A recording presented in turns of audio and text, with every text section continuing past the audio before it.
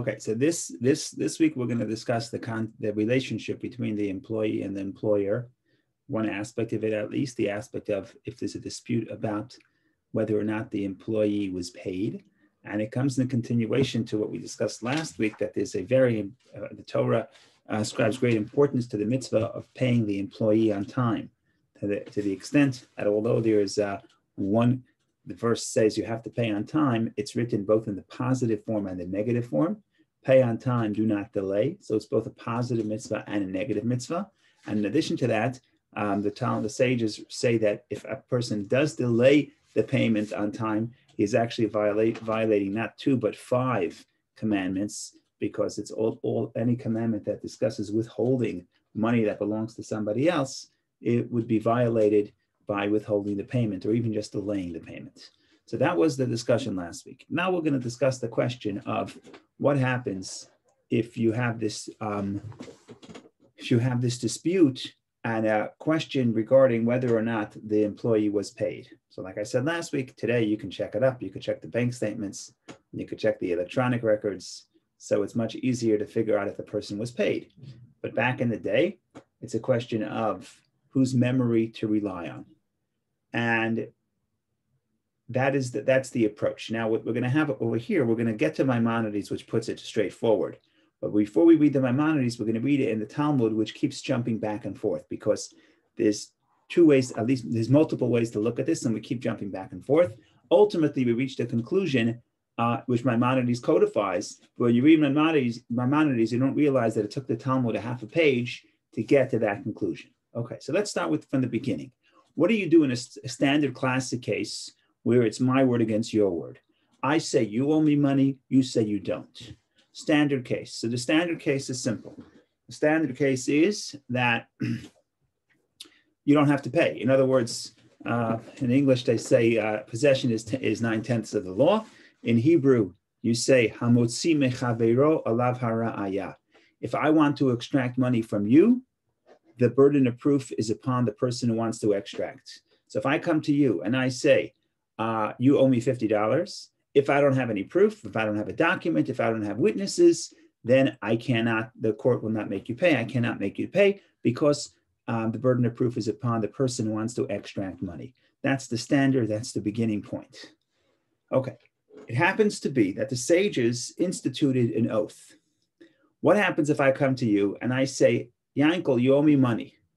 And you say, I don't. So the court and the court is going to is going to um, the court is gonna is can't do anything for me. Um, but the court feels bad for me. I hate to say this word feels bad. They feel bad. So what are they going to do? They say, you know what? Even though the plaintiff cannot extract any money, but the defendant has to take an oath. Now, it's not a biblical oath. The biblical oath is a serious matter. Biblical oath when the Torah says, actually in this week's parsha, there are the cases where the Torah says a person has to take an oath. A biblical oath is a serious matter. First of all, you have to hold a Torah scroll or another holy article. You also have to say God's name. So that is serious business. Then there's an oath that is an oath instituted by the sages. It's called Shevuat Heset. It's not clear what the word Heset means, but it's just an oath. It's, I take an oath that I don't owe you money. It's much less severe. We do it to make the guy feel good. Who's the guy? The plaintiff, the guy who's kept demanding money, but he has no proof.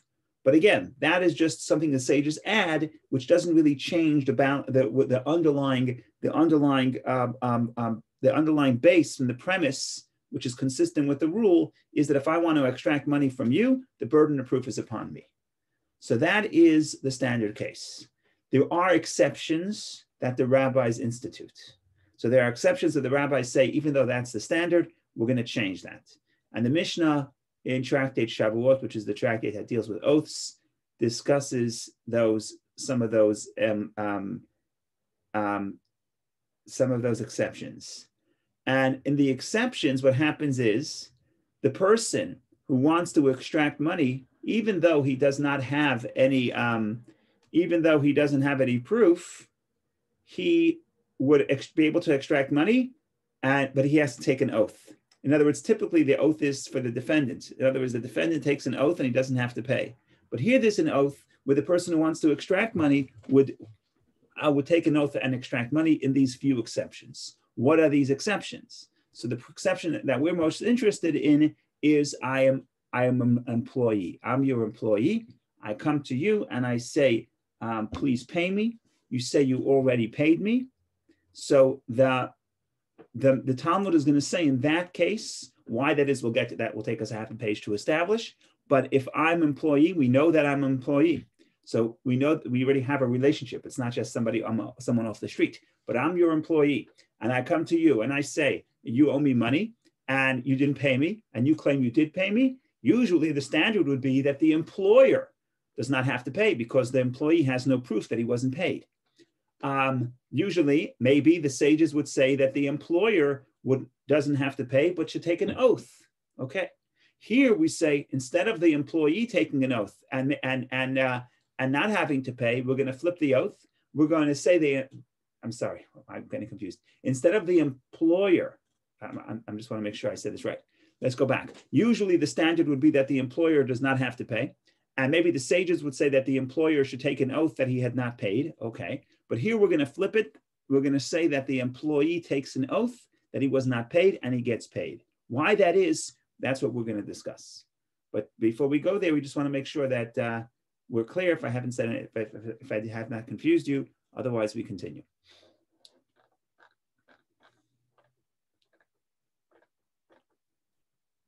Okay, and you see here that, again, this is not biblical. It's just the sages thinking about what's the right way to run the economy.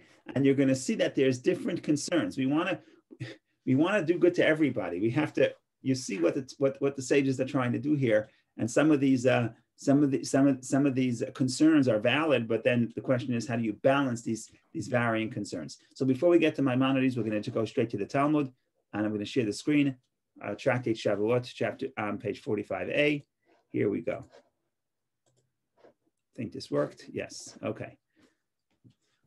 Rather, Rav Nachman says that Samuel says permanent ordinances were taught here. Okay, before in the Talmud, it's a discussion how to how to classify this law. First, they said it's a law, meaning implied that it was given out from Moses at Sinai. Then we say no, it was not the law. It wasn't given from Sinai. It's not a halacha. It's a takana, an ordinance. An ordinance means it's completely rabbinic. What happens here? The sages uprooted, uprooted the oath from the employer and imposed it upon the hired worker due to the fact that his wages are his livelihood. Right? We read the verse last week. Last week, the verse said that pay the guy on time because his soul is waiting for this payment. He really needs the money. So Rabbi Nachman says, because the employee really needs the money, therefore let the employee take an oath and extract money from the employer, even though he has no proof that he was not paid. So Thomas says, one second, this guy needs the money. So just because you need the money, that's why that's why uh, all, all, all laws of, of uh, all laws of evidence are out the window. That's why you could take money away from somebody else just because the employ, employee needs money, just because the worker needs money. The Gemara asks, due to the need, due, due to the need to protect the hired worker's livelihood, do we penalize the employer by leaving him vulnerable to dishonest worker?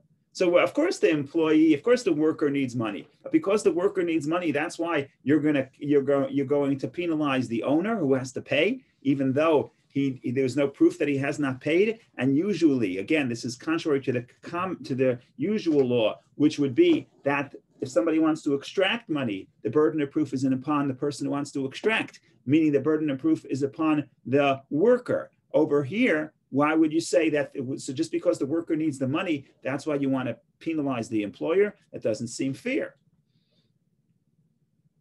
So the Gemara says, well, it's actually funny how we go back and forth. The Gemara answers the employer himself is amenable to the hired worker taking an oath and collecting his wages, so that the laborers will accept employment from him. If the workers are not protected in this manner, they will wary of they'll be they will be weary of accepting work. So here the Talmud put puts forth an argument. We'll see in, in a second the counter argument, but the argument goes like this: the employers want the employ want the workers to be happy. Why not? because if the workers are not happy, then the workers are not going to are not going to accept employment. So if you don't pay the worker when he claims he has not been paid, next time nobody's going to want to work for you. So therefore, we believe the worker because the employer wants uh, the employer benefits from believing the worker. So the Gemara says the other side. What are you talking about? It's a it's. You could look at it both ways. You could look at it the other way. You could look at it that you bet that the, that the worker should be happy to believe the owner because if the owner is not happy, if the employer is not happy, then the employer will not hire the worker. In other words, why would you say that that they they both here they both have a benefit to believe the other one? So why are you looking just at the fact and saying that the that the employer needs employees? Yeah, but the workers also need employers.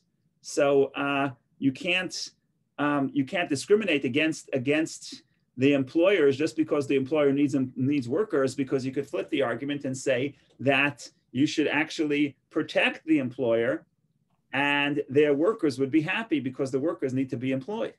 So that's what the Gemara says. The Gemara continues. The Gemara asks, on the contrary, isn't it preferable for the hired worker that in the case of a dispute between them, the employer takes the oath and is released from payment? He would agree to his, this arrangement in order to create conditions in which the employer will, will readily hire him. If employers are exposed to the risk of being cheated by dishonest workers, they will be wary of hiring. The same idea.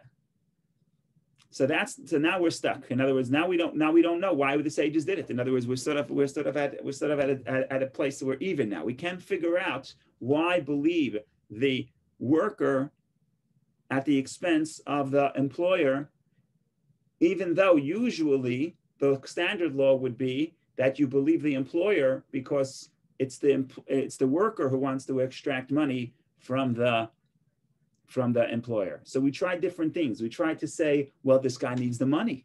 The worker needs the money. Let's believe the worker. We say no, it doesn't work because just because the worker needs the money, that's why the, the employer should lose. So we try to say, well, the employer is happy that the worker is, should be believed because otherwise no one would want to be a worker. So one second, they could flip it around and say that the worker should be happy. We should believe the owner. Otherwise, no one's going to. Um, um, we should believe the employer. Otherwise, no one's going to want to employ employ workers. So right now we are we're nowhere. We, we, we don't really yet have a reason why we should um, believe the worker even though the worker has no, even though the worker has no, has no evidence on his side.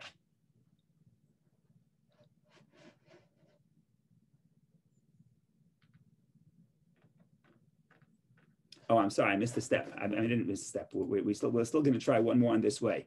This idea of saying that um, we're going to go one more step. Share. Um, the Gemara answers the employer perforce hires hi, hires workers since he needs the, the work done. In other words, the employer has no choice. The employer is always going to have to hire hire workers. So the employer has no choice but to hire workers. So therefore, it's actually help to the employer to believe the, the worker, so workers will want to be hired. The Gemara asks, doesn't a hired worker also perforce accept perforce accept employment since he needs it for his livelihood? So it's very interesting. Who is more in the need in this relationship? The Gemara tries to say, well, the, the employer is he's got the assets, but he, you have a field, you're not going to do anything with the field if you can't plow the field, and you need people to work for you. So uh, you have management and you have uh, labor, and who needs more? Who's forced to hire who? So here we start by saying, well, maybe the employer uh, is forced to hire workers, so he has no choice now. Or now we just want to make conditions that the workers will want to get hired, and we do that by ensuring that if they claim they weren't paid, that they will be paid. But the Gemara says, on the other hand, no. Who says that? Just like the just like the the the employer is forced, the worker is also forced because the worker also needs money. Rather, so now here we have the answer. What's the answer? And this is what the Talmud is. This is what Maimonides is going to quote. And later we, but, later we're going to finish the discussion. But this this is the conclusion, and that's why Maimonides just quotes quotes the conclusion. The answer is rather the reason the worker takes an oath is that the employer is distracted with managing his laborers so it is reasonable to assume that he forgot to pay. What is the Talmud saying? The Talmud is saying, let's assume here that nobody is evil. Let's assume that both the employer and the worker are decent people. Nobody has an intention to lie. That's the assumption. Why would we assume otherwise? Now we have a problem. The employee says, the worker says, I have not been paid. And the owner says, I paid you.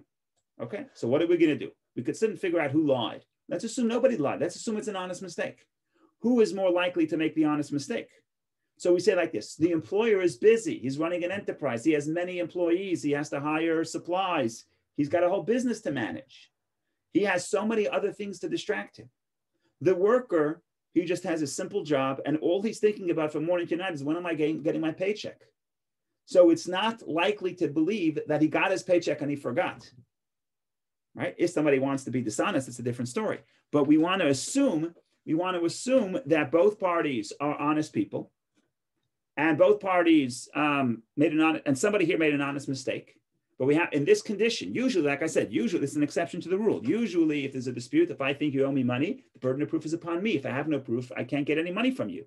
But this would be the exception. I am your employee. You agree that I'm your employee. We'll talk about that later if we disagree. But I'm your employee. You acknowledge that I'm your employee. I'm your employee. I work for you. We all agree about that. The question is, that I get paid or not? You said you paid me. I said I had not got, gotten paid yet. So let's so the Talmud says the conclusion right now is let's assume both are trustworthy. Somebody made a mistake. Who made a mistake? The one who's more distracted with his multiple employees, and I'm adding he has other multiple responsibilities. He's got to worry about paying back the bank. He's got to worry about supplies. He's got to worry about the markets. He's got a lot of things to worry about.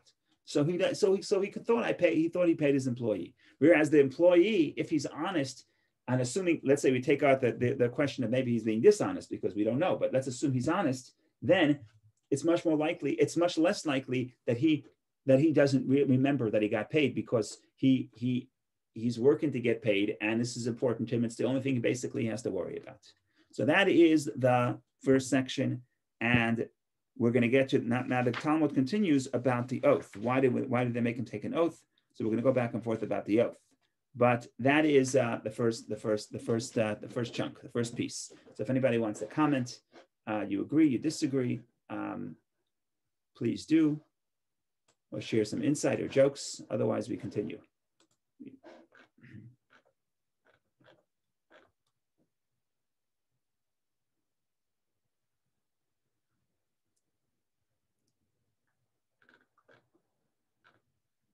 Okay. We continue in the journey, and then we're going to read it inside inside inside Maimonides, and we'll get to maybe branch out to other subjects. Oh, whoops! I'm looking at Maimonides. Should look at the Talmud.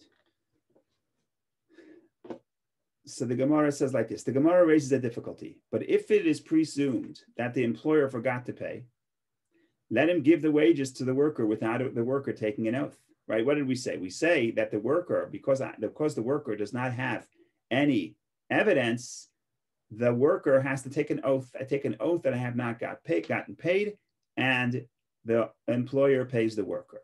But if you just gave me a reason to say that we assume that it, the employer made the mistake and the worker did not, because the worker would not have forgotten something so critical for the worker that whether or not he got paid. If that's the case, if you if you have a reason to believe him, so why does he have to take an oath? Believe him without an oath. That's the next step in the Talmud. So, so if you presume that right, the employer forgot to pay, let him give let him, let him give him the payment without an oath.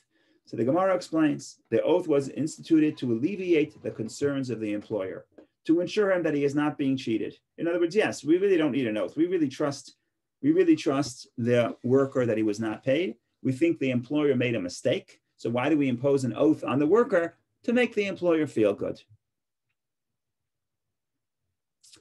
So the Talmud continues. And why did the sages not institute that the employer should give the worker his wages in the presence of witnesses so that it could readily be established whether he was paid? In other words, why don't we make a system instead of saying you'll always believe the, the, the, the worker, you should always say that you have a responsibility. If you're going to pay your, your employee, you have a responsibility to pay them in front of witnesses. Or in simple English, in our case, you could say, or without a lawyer, or make a contract.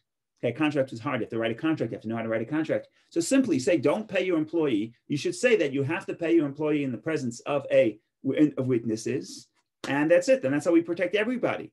And if you didn't, if the if the if there was no witnesses, and the and the employee claims he was he, I'm sorry, and and and and the employer claims he he paid, then we would say, we are your witnesses? So if we're so concerned that the owner is going to forget, instead of putting an oath on the employee, why don't we just say that the owner should only pay in the presence of witnesses? And if he hasn't, if he didn't pay with witnesses, the employee should get paid without taking an oath. So the Talmud says what we keep saying here is that it's not so simple, it's a burden. So, um, so the Talmud answers, the Gemara answers, finding witnesses whether he, whenever he pays wages will be a burdensome matter for him. So in other words, you can't do this. You have to allow for, for commerce to, to flow. You have to be able to allow people to pay without having the burden of finding witnesses. Remember, witnesses have to be kosher witnesses. I can't be your cousin. I can't be related to you. Right? Living in a shtetl, I'm related to you because from, from four different ways. Uh, go find people. You know, how many times I come to a wedding in, in Brooklyn, you go to a wedding and in the morning, who comes to the wedding early is just the relatives. So before before the uh, before the actual wedding, when it starts filling up, the rabbi has to write the ketubah. It's not always easy to find two witnesses to sign the ketubah who are not related, right? Related to one party or the other, right? Go find two people who came early to the wedding. Who comes early to the wedding? People who are friends, relatives. So, so it's not so easy to find, you know, kosher witnesses. So we have to allow for commerce to flow. I, I can't pay you because I don't have two witnesses. It's, it's, it's not going to. We can't impose that obligation. So now we say, one second, and why did the sages not institute that the employer should give him his wages at the outset when he hires him? So there would be no need for an oath. The Gemara answers, they both want the work to be done on credit. In other words, they both benefit from credit, i.e., before the wages are paid, as sometimes the employer has no money ready when he hires a worker, and the worker also prefers receiving his money at the end of the day. So it doesn't say why, but I believe um, that the reason would be that if I get paid in the morning, now I have to worry about my cash, I have to guard my cash the entire day in the field. If I have not got paid, gotten paid till later, then I am, then I am, then, then you're prote- then the employer is protecting it, and then I'm happier. So both would both like the institution of, both like the idea that you can work on credit and get paid at the end of the day. So that's why the sages are not going to impose an obligation. In other words, the question is like this: to impose an oath is sort of a uh, to impose an oath is something you only do at, at a last resort because we don't want people taking oaths if they don't have to. So the question would become, why don't you uh, do something else, create some other system that would that would avoid the need for an oath? So what would the possibilities be? Number one is you must pay in the presence of witnesses, and if you don't, and then and, and the employer claims he paid, we don't believe him, and the and the worker would be able to get the money without without uh, without the uh, without without taking an oath. Talmud says no, it's too burdensome to, to, to get somebody to have to go and find witnesses. The other option would be to pay in the beginning. Well, they both would rather not pay in the beginning. I could add some other reasons. You pay in the beginning, maybe the guy will leave in the middle of the day, There's other issues, but we'll get to that later. Because there are other issues about what happens if you break the contract and you leave in the middle of the day. That's its own discussion. Okay, so that's the first section. And uh, uh, we'll take the questions. We'll read it in Maimonides, and then we'll see if we want to expand further. Go ahead, Vicky. Well, I have workers making noise. I'm not sure if you can hear me, but uh, you pay them. Uh, pay them. Get witnesses. I, live in the condo, but I, I, have a, I have a question. What about the receipt? Why, why can't employer take a uh, employee take a receipt? Uh, employer take a receipt that he paid? You bet you want you want a contract. You want a valid contract that should uh, stand up. In a contract, just a receipt. I would, I would say that to have a proper receipt, that has to be a contract, and to have a contract is a burden. That would be my guess. That would be my guess because it seems from the Talmud that it's easier to find two witnesses than make a, than, than, than write a receipt. A receipt is a contract. Okay, we have a lawyer. We have lawyers on the phone. You, I, all I want to do is write something. I just want to make a contract. Meanwhile, the lawyer sent me 30 pages. I just want to open up an email Google account. And it's how many hundreds of pages of contracts. Once the lawyers start with contracts, you'll never finish. So it seems that it seems that the Talmud assumes that finding two witnesses is actually easier than drawing up a contract. Contract is a receipt. Doesn't you don't need your contract is essentially a receipt. But it seems like finding two witnesses would be easier. And even that we say it's not fear the burden the economy, the burden the employer to have to go find witnesses. And think about it, it's also a, a, burden for the employee because what happens if the employer couldn't find two witnesses? So now the sun sets. Now I have to go home. I wasn't get paid. I'm going to delay to tomorrow. And we'll see later in the Talmud, never delay it to tomorrow. We'll see later that the right of the worker to claim that he has not paid, he's believed that at, at the time when the payment is due. If he comes back tomorrow or the next day, uh, then his his his his uh, claim is we don't necessarily take, take his word if it's after the time he was supposed to be paid. So we have to get paid as soon as the time is due.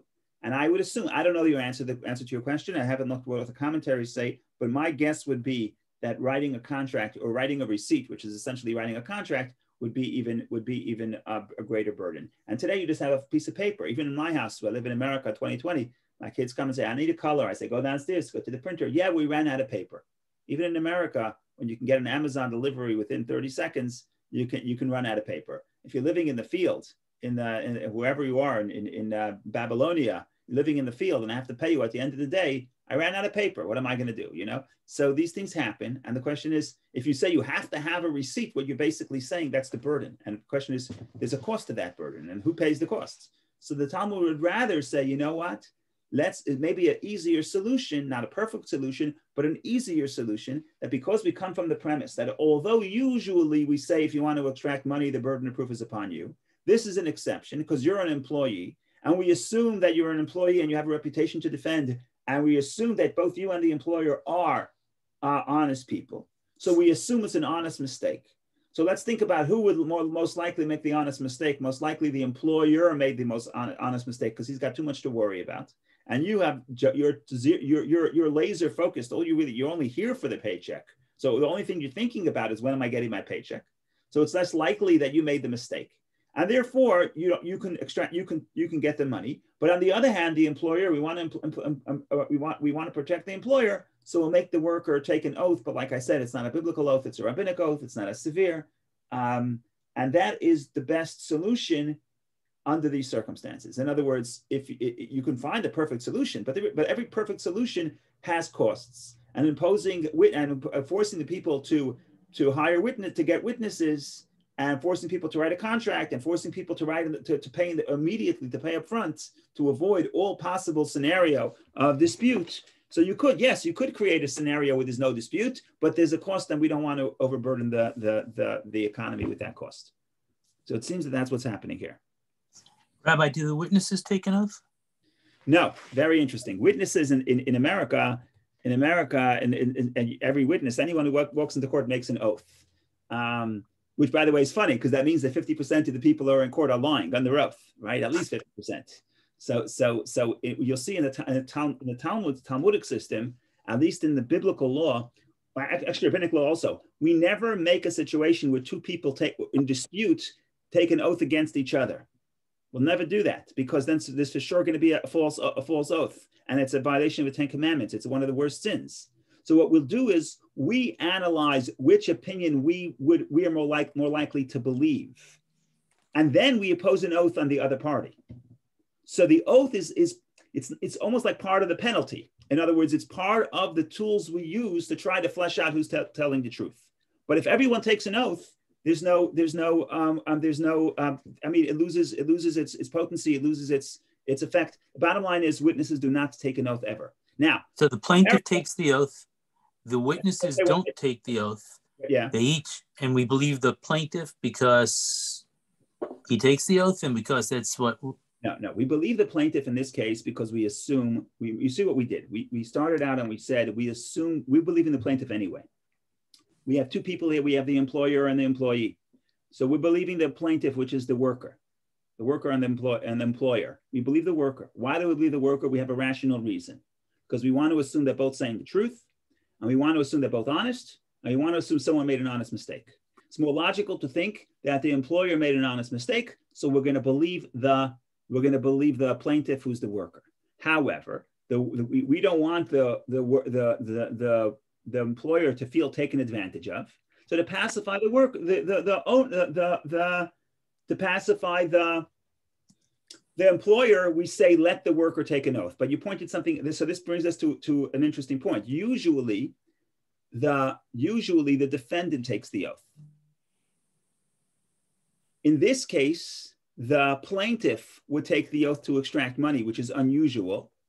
And that's why we say this is an exception to the rule because we're breaking all the rules, because we're here, we're putting and we're saying that the person um, extracting money can extract money without any evidence so because we're sort of violating that premise, so we want to do something else to compensate the to compensate the the employer, and therefore we impose the oath on the worker. But usually, so usually, so it's very interesting. Usually, the person who takes the oath is the person who let, who's less believed. In this case, where the plaintiff, because usually the defendant takes the oath. Almost always the defendant takes the oath. And uh, almost always the defendant takes the oath. So usually the person who takes the oath is the person who's less believed. We give you an oath to help us believe you. In this case, the person who's taking the oath is the plaintiff, and there's only a few exceptions, rabbinic, all, all rabbinic, where the plaintiff will take will take the oath. And it's not because we don't believe the plaintiff, because if we would we wouldn't wouldn't believe him, we wouldn't be able to extract money.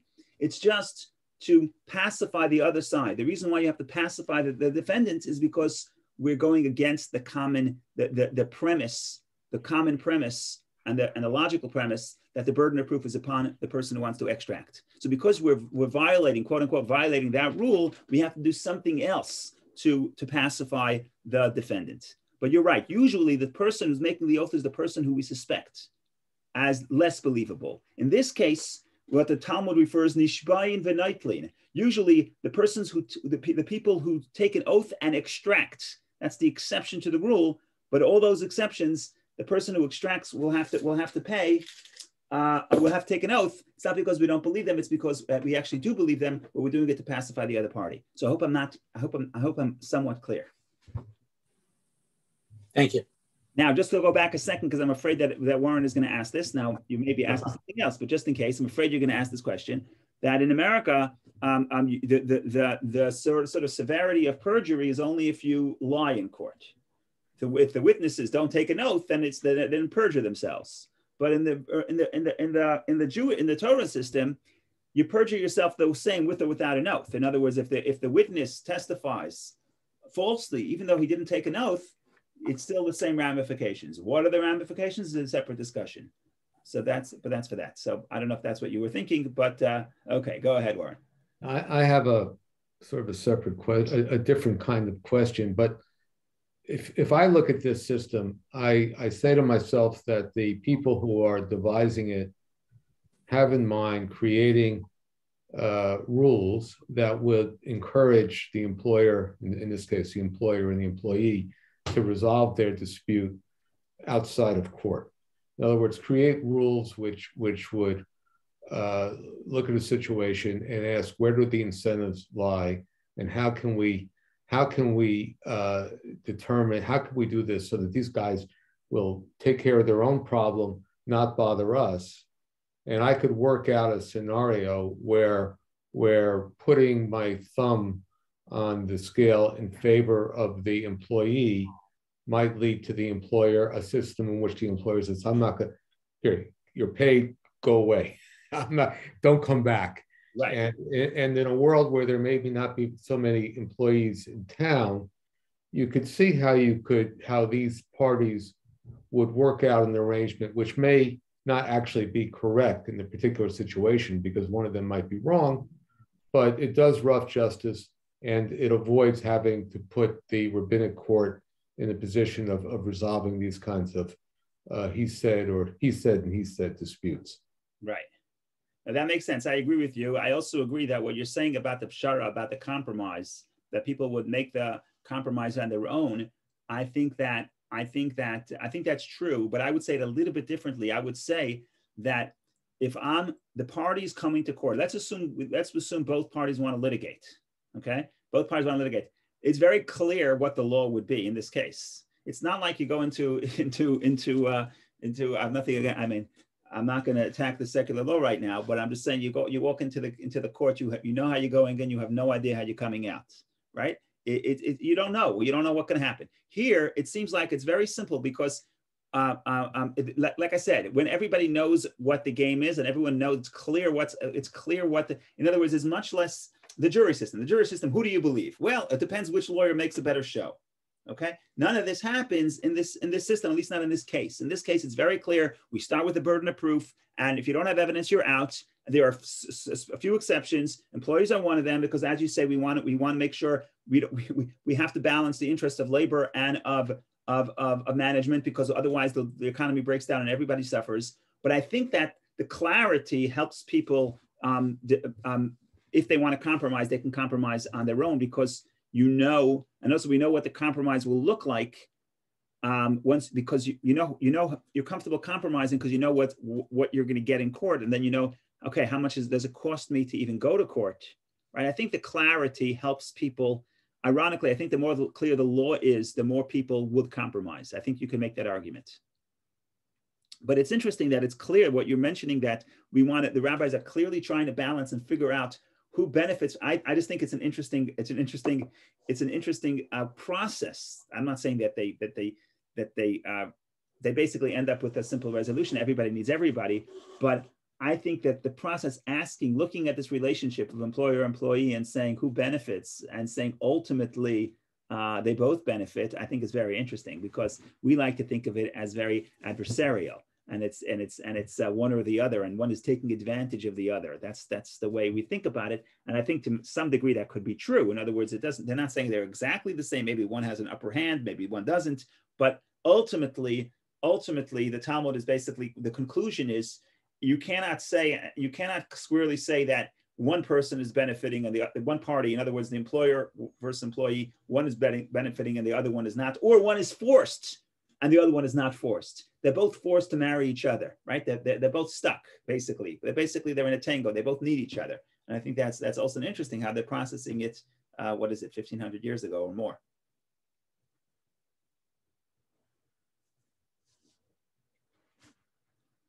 Okay, so let's read it in Maimonides, and then. Oh,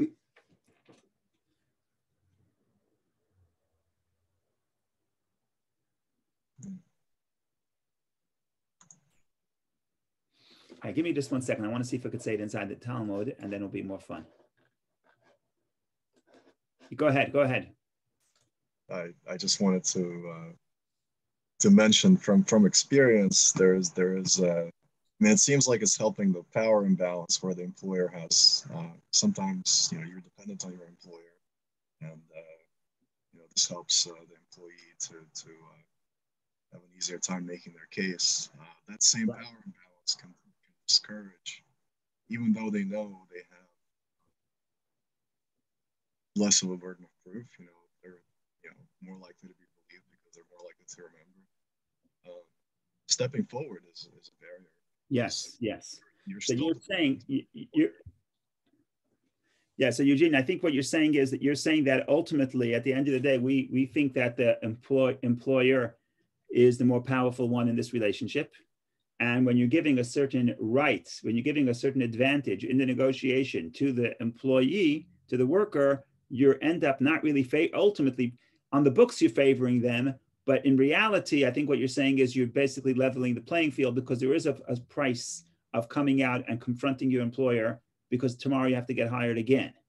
So, so you're saying that don't look at it so simply as we're just sort of benefiting the the, the, the employee we are the worker we are but at the end at the end we're, we're leveling it because there's a built-in imbalance which i would i would agree that's my perspective as well but um, I think that that but but what's interesting that what would what would challenge that is the Talmud sort of seems to resist the notion that one needs the other and the other doesn't need the other. In other words, you live we, we live in a global economy, okay? So you want to hire someone to be to, to to do your taxes, you can you can you can go anywhere right? In a, in, a, in a, click of a button, you can you can produce stuff in China. You can have a, a, guy in India doing your taxes. If you're living in a little shtetl and everybody, you could, if you're a bad employer, nobody's going to work for you, and and and uh, you you're in trouble because you have you have uh, you have a produce that's going to rot, and if it rots, your investment is down the drain. So I agree with you that in today's economy, it would be much have, it would it would much it would have a benefit of of leveling the playing field. Uh, going back, it seems that the Talmud resists that that that statement that the employer definitely has the upper hand. I, I, think it probably depends on what exactly is going on and the and, and the and the even the the the every town. What is the labor market like? What is the what do they call it? What is the um, age of the population? Right. All these things would would would, would affect. But I think that you're right. I think that when you look at the story at, at the Talmud and you want to look at how do we extract meaning from this to today, I think that in today's in today's reality, it doesn't really apply today because today is much, like I said, the whole question will fall apart because it's much easier to track payment. But the notion of you're mentioning that where we, when you're helping the, the worker, you may actually be leveling instead of giving him the upper hand. I, I see that. I see that. And, and they, they would uh, think twice before coming forward because, yeah, it's still a consensual relationship. yes, it is a risk. But, but uh, you know, to get that job, there is a cost involved also to get the other job. So you will think twice before stepping forward to sour that relationship unless you really believe. Yes. Oh. So You're saying the other. You're saying another point. You're saying another reason to believe the employer, employee, the worker, is if you are finally stepping forward, there's a good chance that you have a, re- a reason to, and you're not doing it just because you you say, oh, maybe I'll get paid double. It may not pay for you to do that in the long run. So the fact that you're willing to step up, if you're in an imbalanced relationship and you're willing to speak up, um, that that actually itself may be uh, proof of your of, of that you're saying the truth. So that's a good that's a good that's good Talmudic logic. Talmud doesn't offer that logic, but that's that's valid Talmudic logic.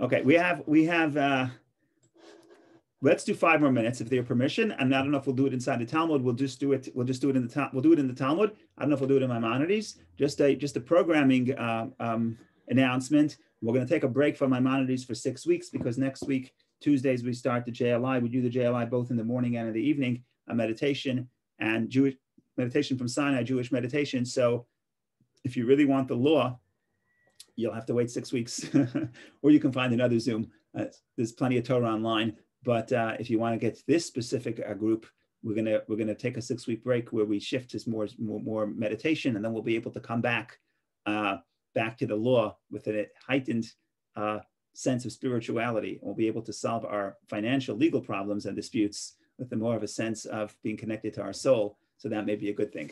Okay. I want to say like this. It seems like right now we're putting all the benefit on the we're putting we're, we're helping the employ employee, the worker. But now the Talmud's going to say, if you believe the worker, why don't you believe the worker all the way? And here's a fascinating place where we don't, where we give actually give the upper hand to the employer. What is the case? The case is if the dispute is not whether I have been paid, I'm the worker. The dispute is not whether I have been paid, but I come the end of the day and you tell and you pay me, you pay me uh, uh, eight dollars an hour, and I said, what are you talking about? You promised me ten dollars an hour. So now we have a dispute of how much I'm supposed to be paid. Now, by the same logic, believe the worker. Talmud says, no, no, no, no, no. When it comes to how much you're going to be paid, we believe the employer. In other words, unless I unless I could bring proof, if I bring proof, then I can get paid what, what, what I think I deserve. But again, assuming there's no proof. So usually, then we go back to the standard case. No proof, standard case. Standard case, the, the burden of proof is upon the one extracting. Here it's the here it's the employ the worker extracting, and therefore, if I'm if, if, if I say that you promised me more, you promised me two hundred dollars for the day, and the other guy says I only promised you hundred dollars for the day, um, we believe we don't we don't we don't believe the employer the, the worker in this case? And that's the Talmud's next question. If so, if you have this idea that the employer is so busy with running his business, so he's more likely to forget, whereas the worker is very uh, focused on the payment, and therefore he's more likely to remember. So why don't you believe the worker when it comes to the question of how much was promised? That's the next step. So we have two more steps left to this piece, but we'll see. We'll see how far we go. If so, even that, that then even with regard to the amount fixed as a payment, the employer is apt to be forgetful. Why then is it taught in the Baraita? If the craftsman says you fixed two coins as my payment, and the other the employer says I fixed only one coin as your payment, the halacha is that the burden of proof rests upon the claimant. In other words, the the the the the uh, the the plaintiff. In other words, the worker, the burden of proof is upon the worker, and if he has no proof, you don't believe the worker, you believe the, the employer in this case. So we'll skip this. Um, uh, so the Gemara says, the Gemara doesn't explain, but it's the Gemara assumes it's obvious. So I'll ask you to explain this to me. The Gemara answers, with regard to the fixing of wages, he certainly remembers. You're an employer, you did your calculation, you know how much profit you need, you calculating your costs, you're an employer, you know how much you promised and how much you didn't. You didn't forget that. That's important. That's an important factor. A, a technical question, did I pay you or did I pay everybody else and not you? I have 30 employees. Okay, you can forget. But how much you pay your employers, how much you pay your workers, if you're if you're a business owner, you know how much you're paying. You know how much you agreed to. That's the assumption. So it's interesting when it comes to who do we believe in this relationship, it depends. Whether or not you were paid, we believe the worker. How much you promised to, to pay, we believe that we believe the we believe the employer. Again, unless I have evidence, unless I have proof otherwise. But if there's no other proof, that's the standard. And now there's one more caveat. Like I said, I alluded to it earlier, that when do we believe the worker when he says he wasn't paid? Only when the payment is due. I come back two weeks later, we, he, we, we don't that we don't believe that. We don't believe you would go, we don't believe you would be quiet for so long. So then it goes back to the standard law that if you claim you weren't paid and it's two weeks after the payment was due, burden of proof is upon you. If you can't prove it, too bad. So let's see the next piece. And that will be the conclusion for today. I don't want to keep you here all day long. The Gemara asks, if so, oh, we're never going to end.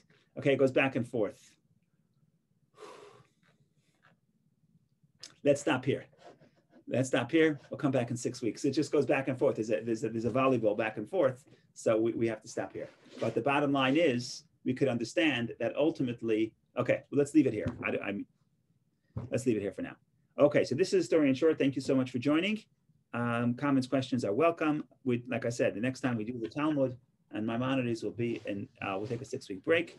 Everybody's welcome to join the meditation from Sinai, uh, chabadgreenwich.org forward slash JLI for more information. Have a wonderful day. Thank you, Rabbi. Thank you.